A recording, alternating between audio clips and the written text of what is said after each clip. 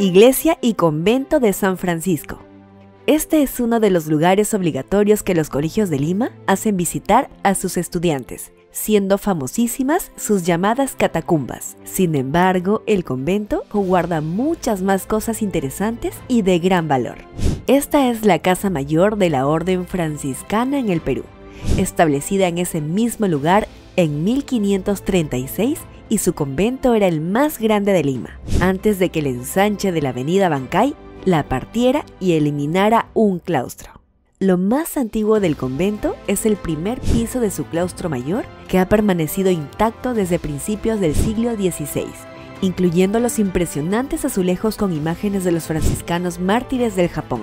Alrededor podemos encontrar arte en lienzos y esculturas, pero también en el trabajo propio de decoración de las salas, como el de Profundis y el refectorio, con sus impresionantes techos. Pero lo que más llama la atención es la cúpula de media naranja sobre la escalera principal, una obra maestra de arte mudéjar, reconstruida después del terremoto de 1940 en el segundo piso está su portentosa biblioteca de dos pisos con valiosos incunables. Del cielo nos vamos al suelo, pues las catacumbas son una ciudad de muertos. Aquí se enterraban no solo frailes, sino también gente del común, mal llamadas catacumbas. Al principio solo eran criptas, y luego después de una refacción de la iglesia, fueron unidas. Permanecieron cerradas desde principios del siglo XIX hasta que se abrieron al público en 1950. La fachada de la iglesia a su costado es una obra mayor que inaugura el periodo barroco en la ciudad, al ser reconstruida toda la iglesia después del terremoto de 1655.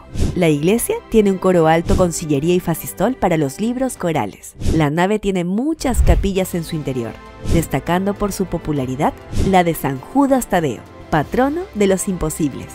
La portada de la sacristía también es barroca y por ahí figura el nombre de su constructor Lucas de Meléndez. Finalmente, el altar es de 1805, en estilo neoclásico hecho por Matías Maestro, que destruyó el impresionante retablo mayor del barroco. La iglesia y convento de San Francisco, un patrimonio de la humanidad al cual hay que darle un tiempo para descubrir sus joyas. Un orgullo para la ciudad. Iglesia y convento de San Francisco nuestra Lima del Bicentenario.